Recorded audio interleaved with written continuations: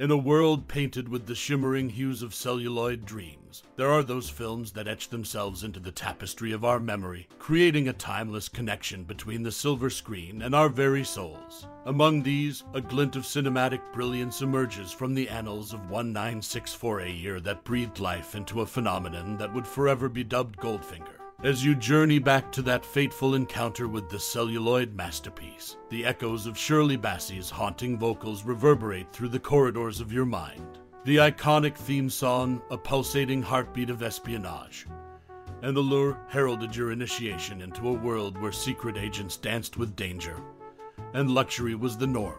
Do you recall the thrill of witnessing Sean Connery's James Bond, an embodiment of charisma and sophistication, maneuver his way through a treacherous landscape? The film's pulse pounding moments are woven into your consciousness with unforgettable scenes that unraveled a tale of villainy and grandiosity, and the suave British agent's heart stopping showdowns that left you hanging on the precipice of your seat. But ah, it wasn't just the gripping plot that captivated you. It was also the glittering sheen of Auric Goldfinger's insidious plan. The infamous laser scene, a tense game of life and death, showcased the peril of a man who dared to defy the antagonist's twisted ambition. Every frame of this cinematic treasure resided in your memory, a treasure trove of imagery that has been indelibly etched, creating a nexus between you and the timeless allure of Goldfinger. And now, as the reel of reminiscences unspools, let's delve into some enigmatic facts that weave an intricate tapestry behind the scenes of this iconic movie. From serendipitous casting choices to unexpected challenges that birthed cinematic magic, these revelations paint a vivid backdrop to the brilliance that is Goldfinger. In a strategic move to secure the iconic role of Pussy Galore, producers Harry Saltzman and Albert R. Broccoli displayed their determination by scripting actress Honor Blackman's judo skills into the storyline of the 1964 film Goldfinger. Blackman's portrayal of the strong and alluring character became an indelible part of the James Bond legacy. The cinematic allure of Goldfinger extended beyond the silver screen. The film's impact reached the pages of the English Daily Express newspaper from October 3, 1960 to April 1, 1961, as the story was adapted into a gripping comic strip. Crafted by Henry Gammidge and illustrated by John McLusky, the comic strip found worldwide syndication and was even reprinted in 2004.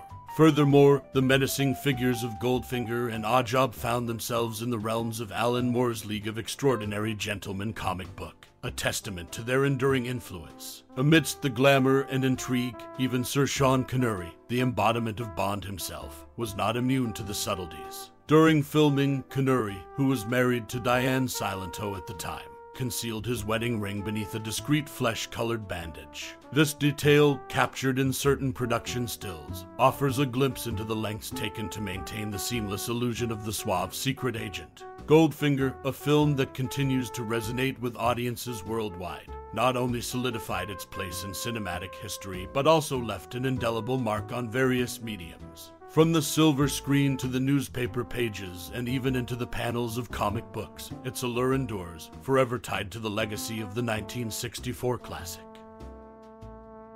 Beatles, Bond, and Goldfinger unearthing connections in the grand tapestry of cinematic history. Few films stand as iconic as the 1964 James Bond classic, Goldfinger. Amidst its glitzy espionage and suave maneuvers, the movie hides intriguing links to the world beyond the silver screen, forming a web that intertwines the Beatles, MI5 intrigue, and a British spy's rise to stardom.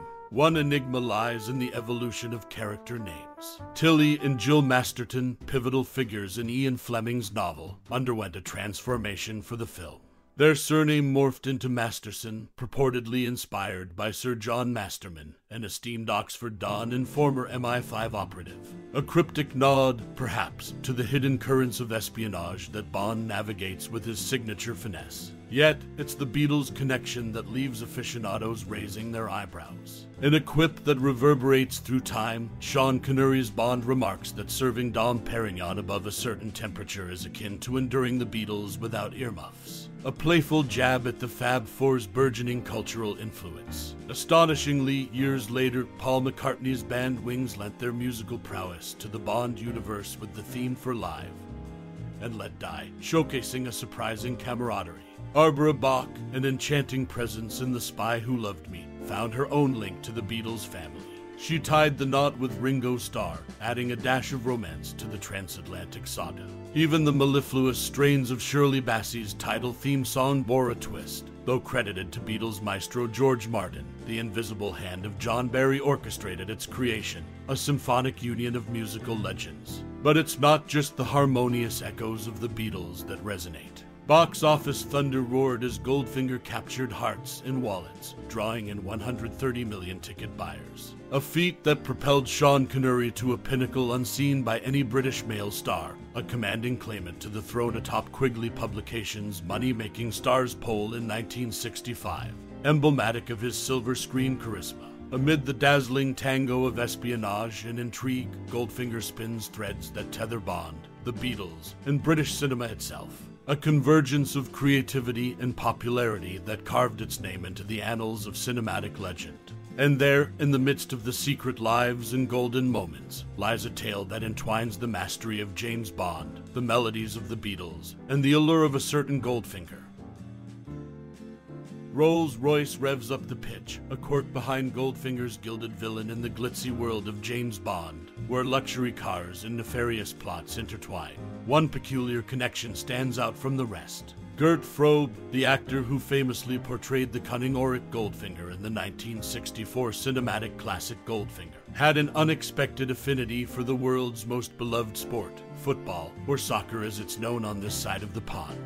Upon stepping into the enigmatic shoes of Goldfinger, Frobe was confronted with an offbeat request from the producers. Intrigued by his private interests, they inquired about his hobbies. With an air of simplicity that one might not associate with the film's intricate storyline, Frobe revealed his passion for football. The result a weekly spectacle that could rival any of Goldfinger's extravagant stunts. Every Saturday, a lavish Rolls Royce would glide up to Frobe's London hotel, a sleek testament to his villainous on screen persona. The purpose to chauffeur him to the very heart of his off screen passion football matches. Frobe, embodying the playful irony that often underpins the Bond series, found himself being ferried to weekend games in a vehicle that exuded opulence, a stark contrast to the sport's grassroots spirit. As the world delves deeper into the enigmatic realm of Goldfinger, this anecdote of a Rolls Royce on a soccer mission adds yet another layer of intrigue to the film's legacy. A reminder that even the most iconic characters are shaped by the quirkiest of interests. And so, the next time you watch the glimmering spectacle of Goldfinger, remember the parallel world where Gert Frobe,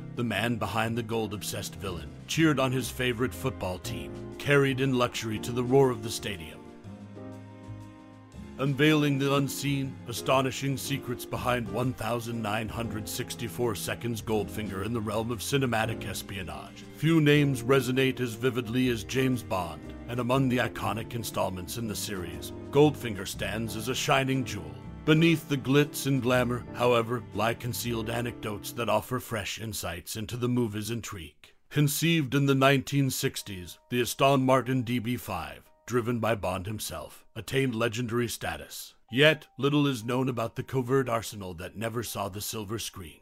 The car's hidden potential included a cache of unrevealed gadgetry, front and back overriders for ramming, a concealed weapon tray, headlights housing triple spiked nail clusters, a covert radio telephone, and an unexpected thermos harboring a built in hand grenade. His gadgetry dreams, though unrealized on screen, tantalized the imagination, shedding light on the ingenuity behind the scenes. The film's opening credits, a visual symphony in themselves, curiously merge scenes from Goldfinger with snippets from earlier Bond escapades. Amid this convergence emerges Margaret Nolan, known for her role as Dink in the film, who, projected upon with these scenes, commands an extended appearance, dwarfing even Shirley Eaton's on screen time.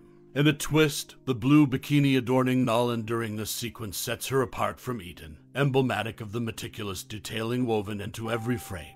Yet, beneath the surface of Gert Frobe's portrayal of Auric Goldfinger lies a paradox. Despite Frobe's jovial disposition, his role as Goldfinger enshrouded him in an enduring perception of cold ruthlessness. In his own words, I am a big man, and I have a laugh to match my size. The ridiculous thing is that since I played Goldfinger in the James Bond film, There are some people who still insist on seeing me as a cold, ruthless villain, a man without laughs. The actor's frustration captures the indelible conflation of role and reality, illustrating the nuances actors often grapple with after breathing life into iconic characters. As we revisit the cinematic gem that is Goldfinger, these revelations illuminate the meticulous craftsmanship and unforeseen complexities woven into its fabric. The allure of an unexplored Aston Martin arsenal, the mesmerizing opening credits, and the enigmatic perceptions surrounding Gert Frobe's portrayal only deepen the mystique of this timeless classic. Intrigue, it seems, persists even beyond the confines of the silver screen. As the credits roll on our journey through the glitzy and action packed world of Goldfinger, I can't help but be reminded of how a single film has the power to shape memories and spark connections across time. Whether you first experienced the mesmerizing allure of the silver screen in a cozy theater, or on a snug couch at home, Goldfinger has etched itself into the cultural fabric, leaving an indelible mark on generations of movie enthusiasts. As you've revisited this iconic masterpiece, perhaps you found yourself immersed in the suave sophistication of James Bond, his daring escapades juxtaposed against the cunning villainy of Auric Goldfinger. Maybe the unforgettable, larger than life scenes unfolded in your mind's eye like cherished paintings, each frame holding a unique emotion or thrill. Goldfinger is more than just a film, it's a portal to our own histories and experiences. What were you doing when you first encountered this cinematic gem?